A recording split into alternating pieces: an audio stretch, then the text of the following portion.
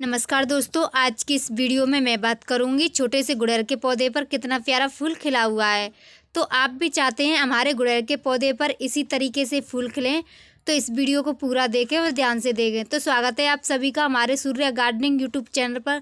तो इस वीडियो को शुरू करते हैं और जानते हैं आगे।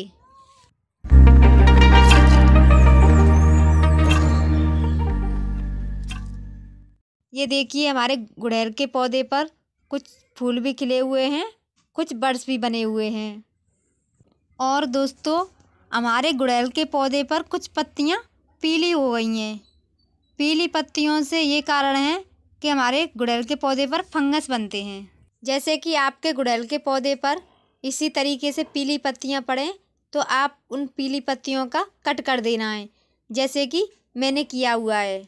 और दोस्तों हम गुड़हल के पौधे को एक से दो घंटे की धूप में ज़रूर रखें, जैसे कि मैंने रखा हुआ है। और हम इस पौधे को एक से दो घंटे की धूप में रखेंगे।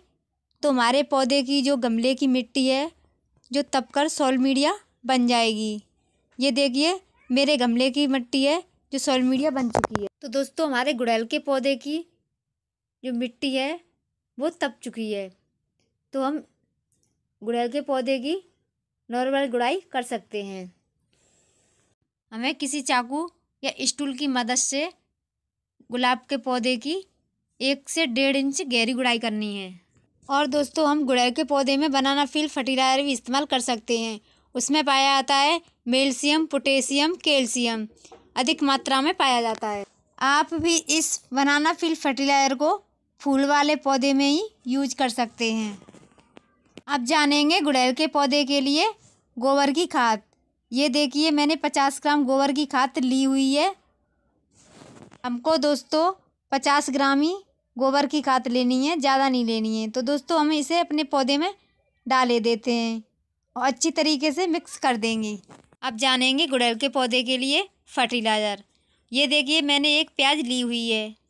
हम इससे किसी चाकू से इसके छिलके उतारे लेंगे। कुछ लोग ऐसा करते हैं, प्याज के छिलकों को यूँ ही फेंक देते हैं। तो दोस्तों, हम बनाते हैं ऑन फ़ील्ड फर्टिलाइज़र वो भी ऑर्गेनिक। और हम इन छिलकों को किसी प्लेट में उतार कर रख लेंगे। और दोस्तों, उतारने के बाद हम एक लीटर पानी ले लेते हैं। एक लीटर पानी में इन छिलकों को डाले देंगे और चौबीस घंटे के लिए ऐसे ही छोड़ देंगे।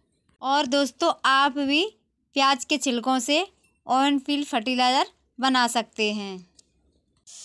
ये देखिए, चौबीस घंटे हो चुके हैं। हमारा ऑन फ़ील्ड फर्टिलाइज़र बनकर तैयार हो गया है।